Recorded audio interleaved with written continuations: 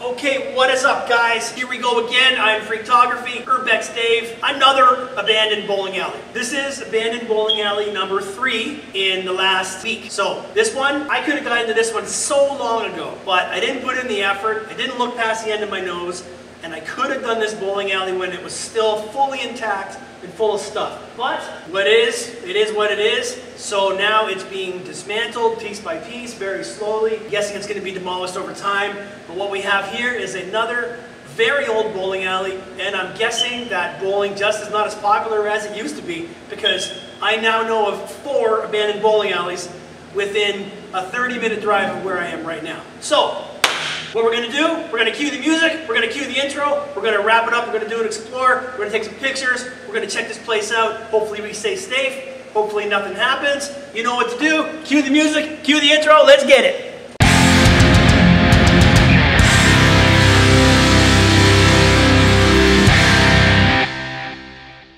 All right, so here we are. Main level of the bowling alley. We have got, looks like two, four, six, eight, ten, maybe 12 lanes up here. Take a walk up, check it out. Obviously, a lot of dismantling has been going on here, taking apart of the floors, hardwood floors coming apart, ball returns coming apart. All the machinery and the mechanics at the back have been removed down up here, but there is another 12 lanes downstairs that still have some uh, equipment. So we'll go down and check that out. Here is your uh, ball return, nice pink in color. So this is obviously an old-fashioned retro type of bowling alley, which is great. I guess they kind of all all look like that. But let's move along.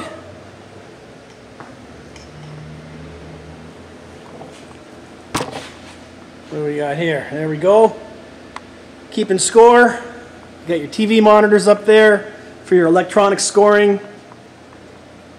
This here, I'm guessing, was at the back, up against the lanes over there. So we got fire alarm, we got the fire, uh, fire detectors here. Batteries are dying, so you're going to hear the odd beep every once in a while. Here is your main cash out area where you'd come in, you get your shoes, you pay for your bowling, you get some snacks, you get a pop, you get a drink. All the bowling shoes are gone. The last couple bowling alleys that we did still had all the shoes. But this one here does not. Looking over here at the counter, you got some nasty looking orange juice, some paperwork, box of Skittles, bunch of pennies. There's where your shoes would have been held. You got some garlic spread for your garlic bread. Who doesn't love garlic bread? I love garlic bread. Somebody's glasses. All right, let's keep going on and check out what's back here. Probably a lot of nothing. There's your sink. Television for entertainment. Wi-Fi router.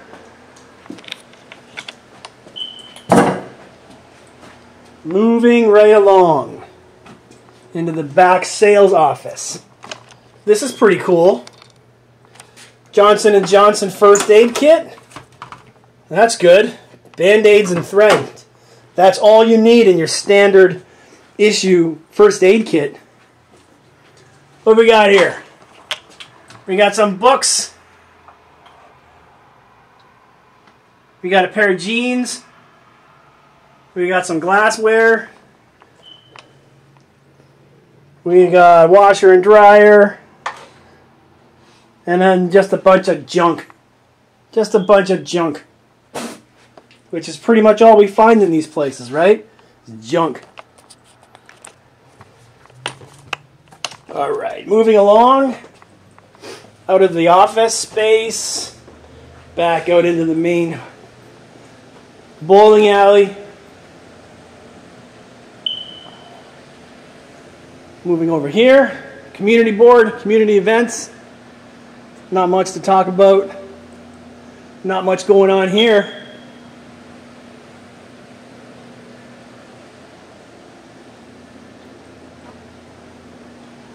move over here. Somebody left their jacket. A few people left their sweaters. Got a couple of scarves left behind. Some mittens. It's all right. Here we got a kid's room kids' play area, happy birthday room. Check it out. You got your uh, Winnie the Pooh team. You got Eeyore, Tigger. You got the whole gang. Happy birthday. Benches. I guess this is where you'd have a little birthday party before you go bowling. All right. Over here we got some trophies. Whole bunch of trophies. Congratulations to whoever earned those trophies that didn't get to bring them home. League scores right here. Good job, everybody. That's the 300 club right there. Good job.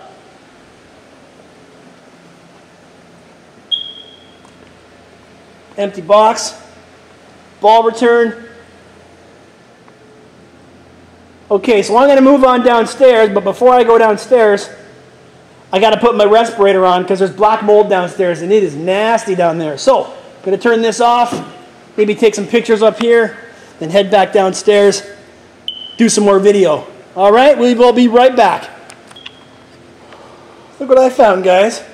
I found a wedding picture, a wedding photo shoot done here. Beautiful red-haired bride. Oh, Focus in on that there. There you go. Beautiful red-haired ginger bride in her wedding dress with the, the dude in the back, taken right here in this same spot. Right here. Look at that. That is crazy stuff. So let's continue our tour of the abandoned bowling alley. And we're going to take a walk down the lane here. And we're going to see what's going on down here. Not much interesting back here. But we still got to look though, right? Still got to look. I don't want to bump my head there. Down, there we go. See, you still got some lights on here. Not very bright though. Kind of like me. Lights are on, but I'm not very bright. So, fuse box. I should turn the air conditioning on because it is freaking hot back here, let me tell you. There's facing the other way. All the bowling balls, I think, are gone, which is a bummer. But what are you going to do? Moving on here. Much of the same. Much of the same. Much of the same. Hey, there you go. Continuing on to the very back corner where you've got some stuff. Just some mechanical stuff for the bowling alley. There you go. There's your view. All the way down from the back where the balls land. Looking over there that way. Straight from here. Back up down the lane. There's your ball return there. Yeah, let's go.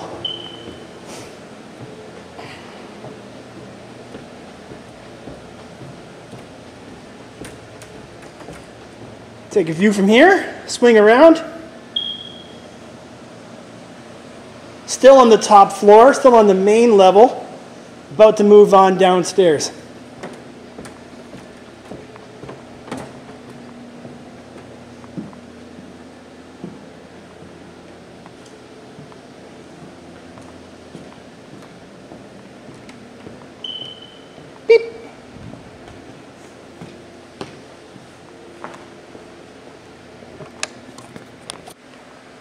Okay guys, so in other news, I just figured out how to turn the lights on. So now we got power in here so you can see a lot better, which is awesome. It's always good when you can find power, turn the lights on, and then get better pictures. So now I can get much better pictures and much better video footage with the lights on. So let's hope I can also turn the lights on downstairs, because downstairs is really dark. But I'm much happier now being in here with these lights on, because now I can get much better pictures. Okay? Thank you. Okay, guys, what is up? I got my face mask on. We're going downstairs where there's black mold. It's not safe down there. Safety first, explorers. Let's go.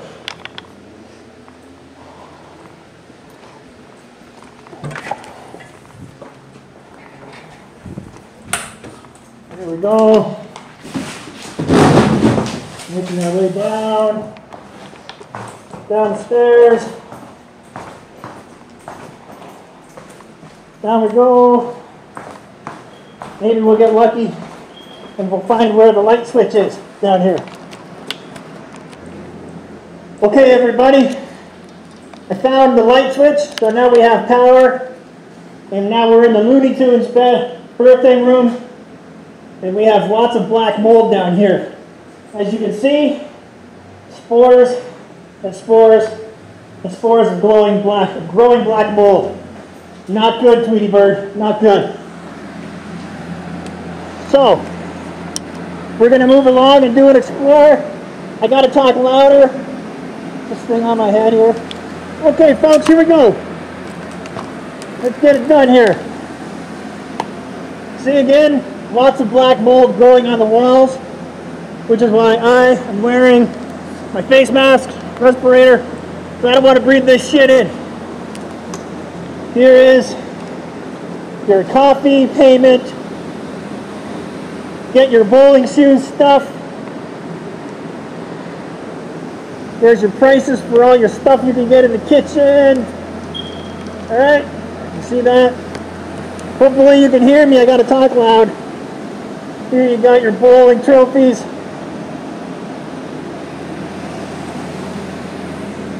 All the shoes are gone.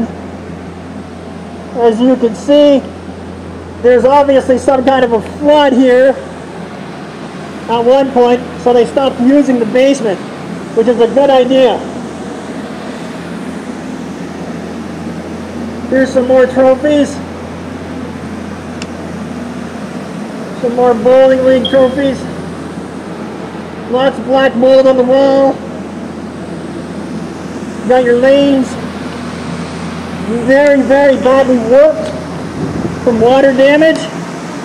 Clearly there was a flood down here and the flooding warped the floors and caused the growth of black mold.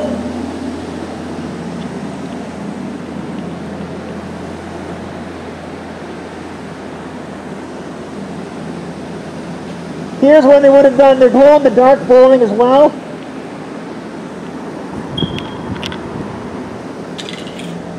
I don't want to spend much time down here, that's for damn sure.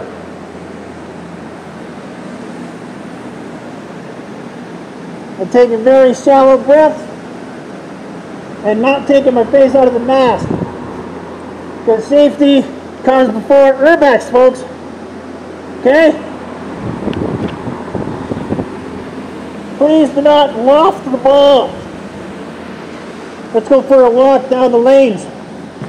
See what's going on back here. Put the light on. I believe back here they still have some of the mechanisms for ball returns. Yes, definitely glow in the dark bowling down here, judging by the things on the walls that glow in the dark. So here's what's left of the ball return mechanism in the back of the basement, basement bowling alley.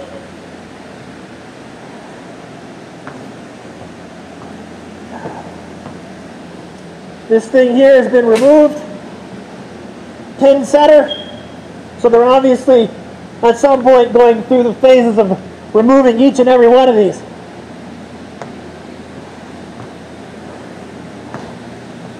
So that's about it down here. Not going to go back there much further. Going to keep on going. And we'll go over here and focus on the warping of the floor. Right here. This floor is badly warped. Like I said, as a result of flooding and water damage, which might just be what led to the ultimate closing of this facility.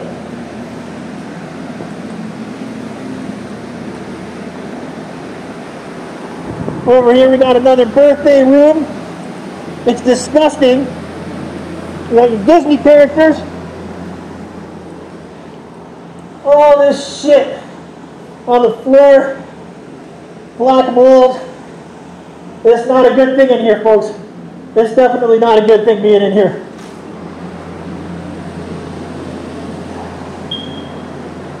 Okay, I'm gonna turn this off.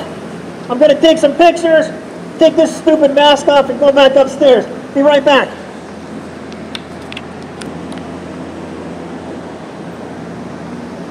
Go back upstairs so I can breathe.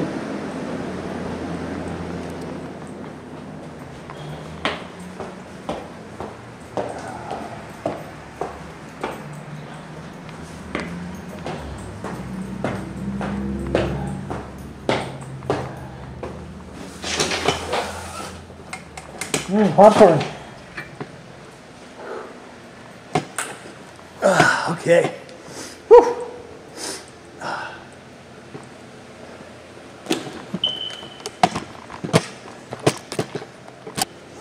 On.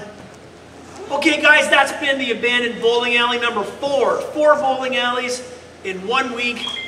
Unbelievable. Right behind me here, right behind you, is the UBC. He just showed up to do a video, and I just wrapped mine up. So, hope you guys have liked it.